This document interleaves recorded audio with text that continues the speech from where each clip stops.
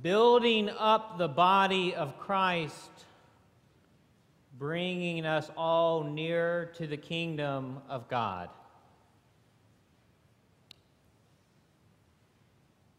Moses shared the law of God, while Elijah shared the directive voice of God. John the Baptist would replace the role of Elijah with that voice, and Jesus, in today's reading, is replacing the role of Moses. And as this setting takes place today on the mountain, Moses and Elijah and John the Baptist have already died. Yet on the mountain, the kingdom of God is being passed on to Jesus. In today's story of the Transfiguration, advances God's plan for the disciples to finally recognize Jesus apart from all the other figures of this great biblical story that Jesus is more than a prophet. Yet the disciples still miss it and want to build up a monument to capture the moment on the mountain. How can the disciples see Jesus? is the kingdom of God coming within us. This past week, I attended a conference up in D.C., and for a couple mornings, I got up early to go exercise. Each day, heading out on the sidewalk, beginning on Connecticut Avenue, connecting to 17th Street, eventually passing the heavily guarded White House gates and weaving my way around to the National Mall. Moving from all of that concrete to that impressive place of white pillars of monuments amongst pools of water and grass, surrounded by impressive buildings, all framing it in place. At one hand, at one end, Abraham Lincoln sitting like a god in a dwelling to the tower of the Washington Monument, pointing like an arrow up to the heavens. The early hours of traffic are already noticeable, but the majority of the movement are men and women like me who are weaving around on foot trying to get our blood flowing as we start our day. Even though I'm in a city I do not know very well, I still refuse to take my cell phone when I exercise. And so as I begin to work my way back to the hotel, I get turned around and lost those days.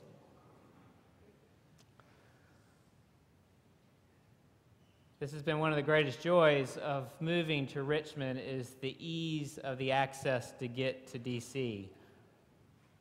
It is such a magnificent city. Once you can get your car into a shelter and then you can hoof it on foot.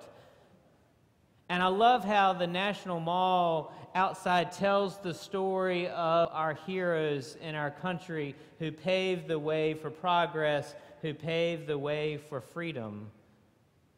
And inside those various museums that align it so well, we have stories of flight, stories of nature, stories of humanity, and so much more. Stories of the transformation of all life and of our democracy and it tells the full story, both the beauty and the struggles of humanity. Every time I go to DC, especially when I go with my boys and explore with them through their eyes, there's always that moment when it gets towards the end of our trip where I wish we could stay longer. Maybe we should just get a hotel tonight and do it again tomorrow. But then I think, why rush taking in such great stories? and instead to go ahead and to get back on 95 before 2 o'clock comes. and just build upon that experience on another day. Our psalmist today tells us how God spoke to them out of the pillar of cloud.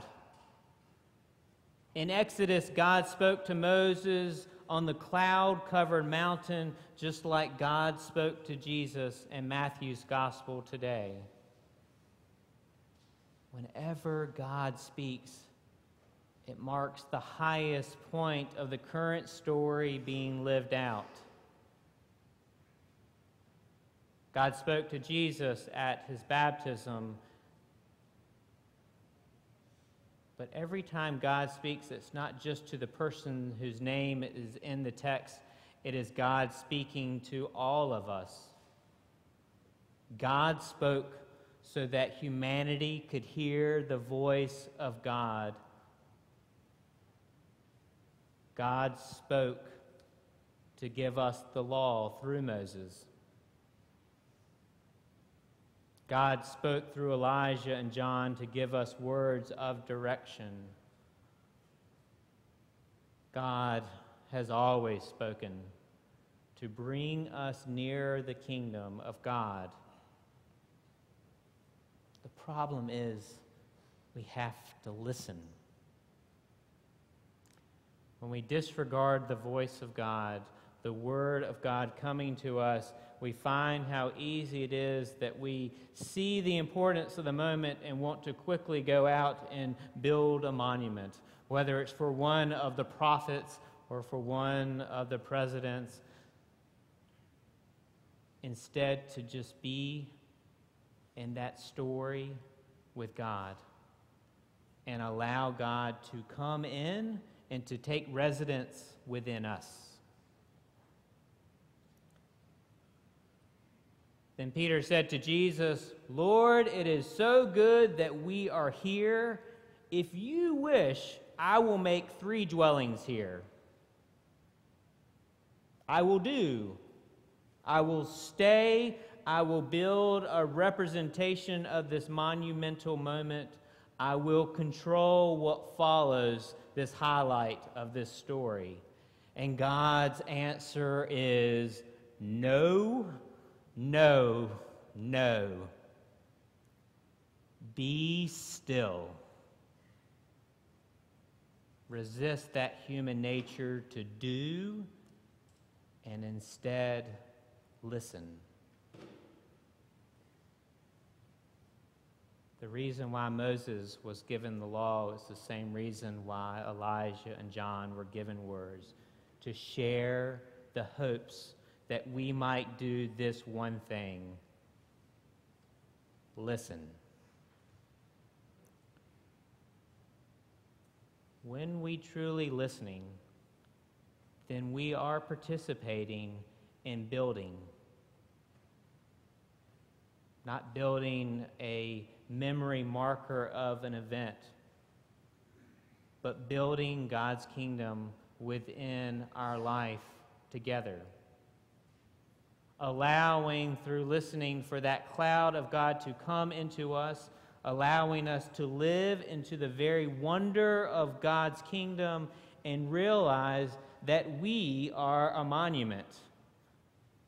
We are a tabernacle. We are a shelter. We are God's shell. And listening requires for us to get lost in God's voice, speaking of the stories of the past, speaking of the stories of the now, so that we might become a builder for God's glory.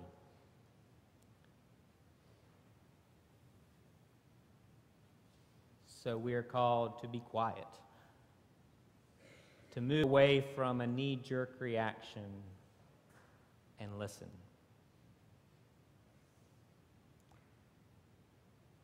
running back uh, to the hotel on those mornings and realizing with each step that I was becoming a little bit more lost. Not necessarily because of uh, me heading in the wrong direction, I was becoming more and more lost because of the refusal to acknowledge that the solution to my problem was so easy that it was hard. For I needed to stop moving, approach a stranger, and ask for directions.